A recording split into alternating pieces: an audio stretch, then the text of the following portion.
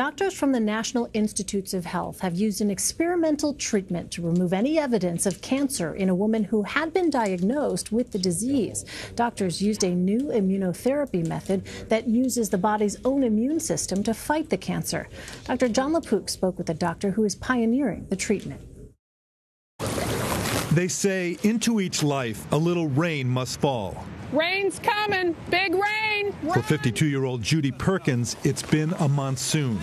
I had a mastectomy. I had all my lymph nodes out. 10 years later, 2013, I felt another lump on the same side, and this time it ended up being stage four. So I entered the world of cancer patient, serious cancer patient. Despite hormonal and chemotherapy, by 2015, the cancer had spread to her chest and liver.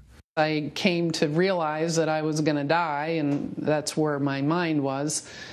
You know, I felt bad for my family, but I was grateful for the life I had had.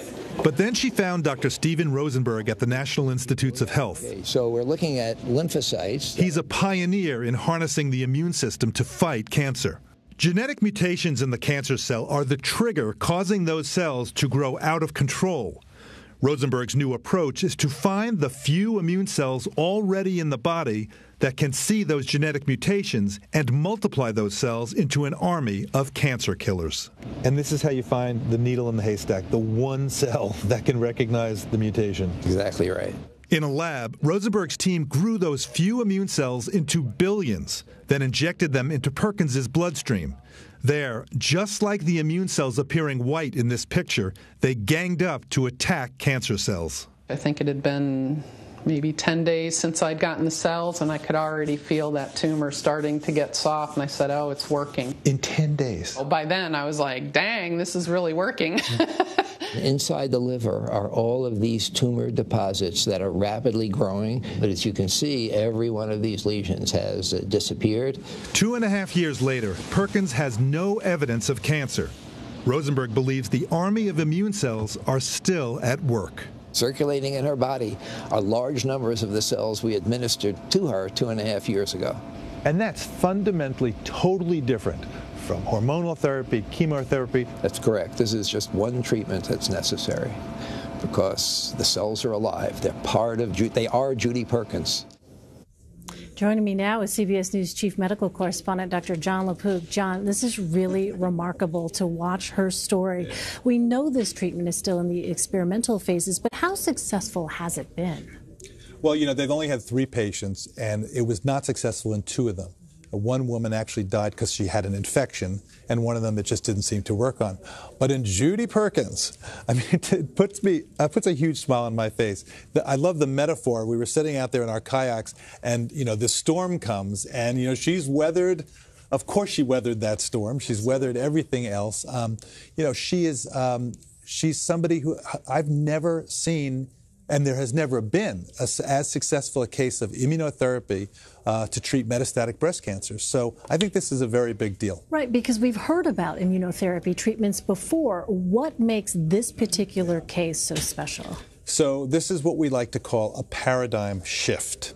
You've, you and I have discussed before that the reason, one reason why cancer is so tricky is that it hides itself from the immune system. After all, your immune system can kill bacteria, viruses. Why can't it kill the cancer cells? Well, it's because it puts kind of like a cloak of invisibility, like in Harry Potter or the other science fiction uh, films. What, they, what it turns out, though, is that there are a very small number of immune cells, a very, very small number, that actually can see the cancer.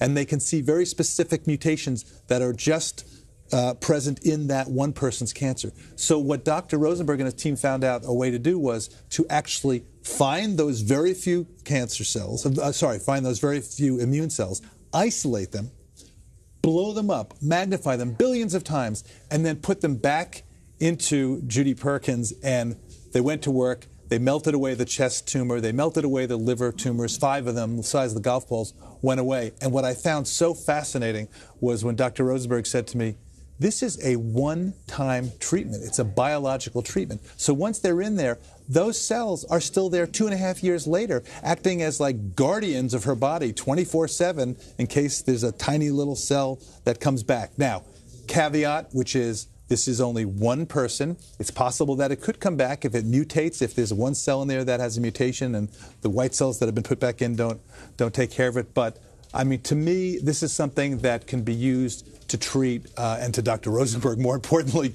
the, the hundreds of thousands of people who die each year of these solid tumors. Those are the toughest ones to treat. There are 600,000 people or so who die every year. About 90% of those are the solid tumors. By that I mean like colon, lung, breast, prostate, ovary. Those are the ones that have been so difficult to treat. Well, it really is so incredible hearing her story. And Dr. Rosenberg is a pioneer when it comes to cancer treatment research. So, what does he see now as the next steps? Well, he's always very cautious. I'm trying to say, so is this, right. you know, is this it? And he said, no, I'm, I'm, I'm cautious. You know, he has been doing this for 40 years. Elaine, 40 years. He's had, he told me he had about 40 days off in that period. So this is his life. He's so excited. He can't wait to see what happens next. Um, I said, do you really think you have have it now? And he goes, I feel sometimes like I'm holding on by the skin of my teeth. So he's very, very modest. But I think he understands that this is something where in the future, in the future,